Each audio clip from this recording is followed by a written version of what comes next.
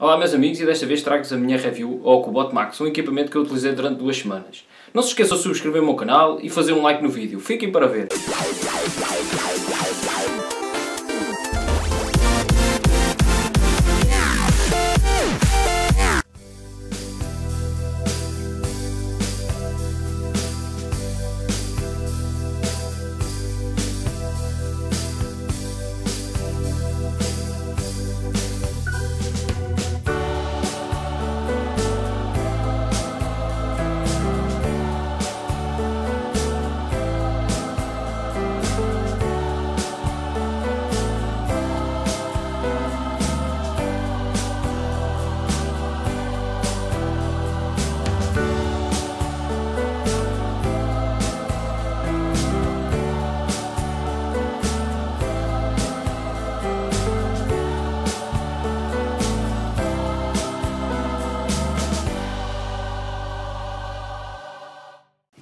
Bom, vamos começar então pela construção e design. É um equipamento todo construído em plástico, com boa qualidade. E este relevo que se encontra na parte traseira é muito bom para, até para segurar. E encontramos aqui estes botões também, volume e power, eh, em plástico, mas que têm boa qualidade e sem qualquer tipo de folgas. Bom, a nível de especificações, nele encontramos então um ecrã de 6 polegadas HD 1280 x 720 pixels, 2.5D, o processador é o MediaTek 6753 octa-core a 1.3 GHz, ele tem 3 GB de RAM, 32 GB de memória interna com entrada microSD até 128 GB, a câmera traseira é de 13 megapixels, frontal é de 5 megapixels, a bateria é de 4100 mAh, o sistema operativo é o Android 6 Marshmallow, ele é dual SIM mais microSD, cores o preto, o prateado, o dourado, e medidas tem 16.45 por 8.35 de largura e de espessura tem 8.9 mm. Bom, neste cobote encontramos um ecrã de 6 polegadas, HD, 1280 x 720 pixels. Uh, vocês podem dizer que a resolução é baixa, mas também ganhamos aqui um pouco mais de autonomia. O touch é excelente e eu não vejo aqui qualquer tipo de problemas com este smartphone. Bom, e aqui neste vídeo vocês podem ver a qualidade e definição deste Cobot Max e também a qualidade do som.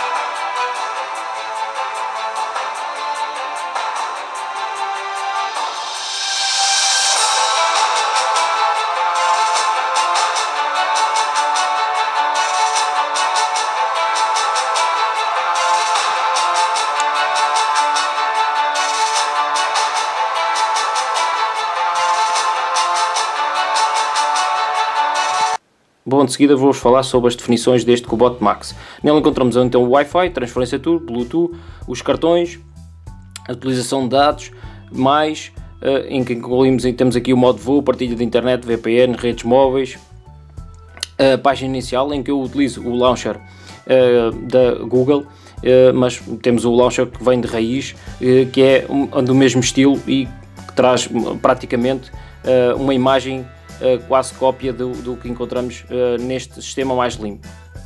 De seguida, o ecrã em que poderemos uh, proporcionar melhores efeitos visuais, o nível de luminosidade que vocês podem colocar automático, eu tenho uh, em normal, como vocês podem ver aqui, otimizar o nível de luminosidade de acordo com a luz disponível, podem mudar a imagem de fundo, o tamanho de letra, se o ecrã roda quando vocês, ou se a fotografia roda quando vocês colocam uma imagem ou um vídeo. Depois, aqui nas, nas uh, in settings, ou aqui um parâmetro que não está traduzido, mas uh, como vocês podem ver, por exemplo, para eu tirar um print screen é muito fácil e eu vou mostrar isso mesmo. Basta só vocês passarem três dedos e tiram um print screen. Depois, dois toques para acordar o ecrã. Muito fácil de utilizar. E outras opções uh, neste equipamento, mas como vocês podem ver, este parâmetro não está traduzido. Falando agora do som, nele encontramos um som com muito boa qualidade, apenas no alta voz notei uh, um som um pouco baixo. Depois, como vocês podem ver, temos aqui o modo geral, uh, modos que vocês podem utilizar e mudar os sons que são imensos. E aqui a melhoria de som, que vocês podem melhorar o som para os escutadores, o aumento de volume no, para o altifalante e, e o Best Surround. De seguida, falando aqui das aplicações, ora, ele traz eh, muito poucas aplicações instaladas e tudo praticamente fui eu que instalei, muito ao estilo uh, da, da Google uh, e como vocês podem ver o equipamento está bastante rápido. Claro que não temos aqui um processador de topo e também por o preço que ele custa não podíamos esperar muito mais. A nível de armazenamento, ele traz 32 GB de memória interna, mas 25.28 GB para aplicações e como vocês podem ver, ainda temos a opção uh, também para aumentar uh, através de um cartão micro SD até 128 GB. Falando agora da bateria, nele encontramos uma bateria de 4100 mAh, sem carregamento rápido, mas uh, um, um, equipamento com muito boa autonomia. Eu utilizei o, o smartphone e fiz quase 7 horas de ecrã naquela utilização muito normal, não muito excessiva. Aqui um equipamento com também com um ponto positivo na, na autonomia e aconselho se gostam de um smartphone de 6 polegadas com boa autonomia, este é um deles. Não comparar, por exemplo, com o Xiaomi Mi Max, que terão uh, quase o dobro da autonomia deste. De seguida, falando aqui da, da, memória, ora ele tem 3 GB de memória e temos aqui 2 GB uh, disponíveis. Uh, como vocês podem ver, é um equipamento que por aqui é bastante rápido. Depois os utilizadores, localização, ora eu utilizei o equipamento, também com o GPS, ele é bastante rápido a, fixar os satélites e eu também vou mostrar aqui a imagem uh, o que consegui fazer com este uh, equipamento e por aqui também uh, se vocês querem utilizá-lo como GPS, um ponto positivo que terão bastante autonomia para o mesmo. Depois o modo de segurança, as contas, idioma entrada, temos o português de Portugal e vamos verificar se temos aqui o português do Brasil. Ora, temos português de Portugal e português do Brasil.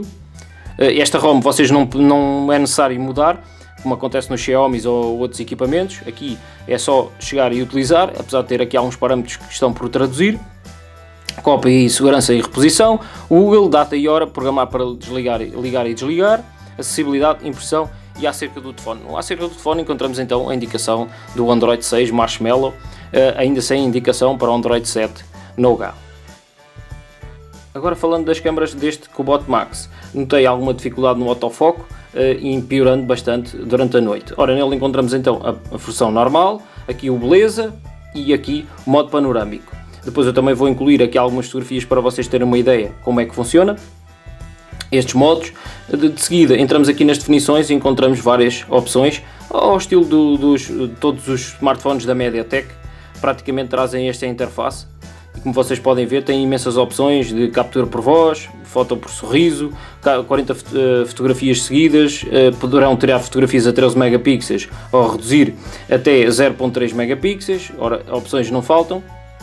Continuando aqui depois para uh, a filmagem, ora ele faz gravação de vídeo a 1080p e também temos aqui estabilizador, modo de áudio normal e qualidade de vídeo que vocês podem otimizar.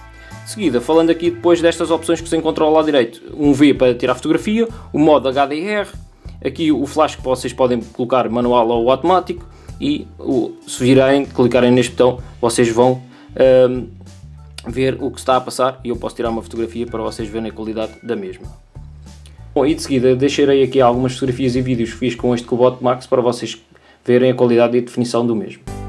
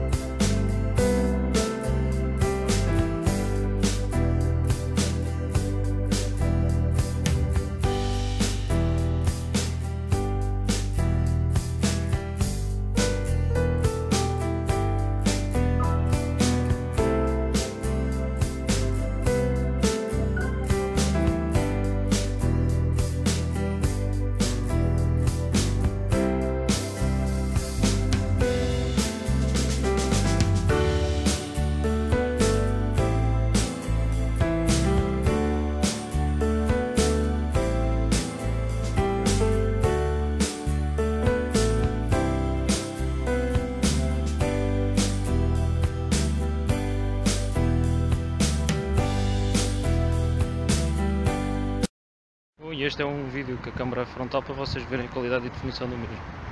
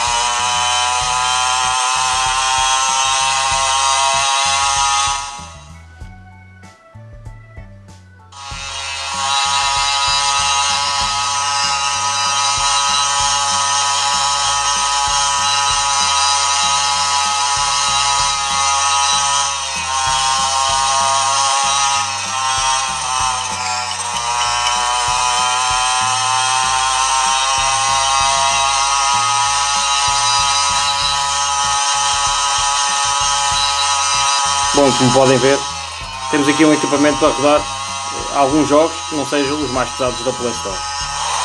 Aí aconselho o Zack Z2.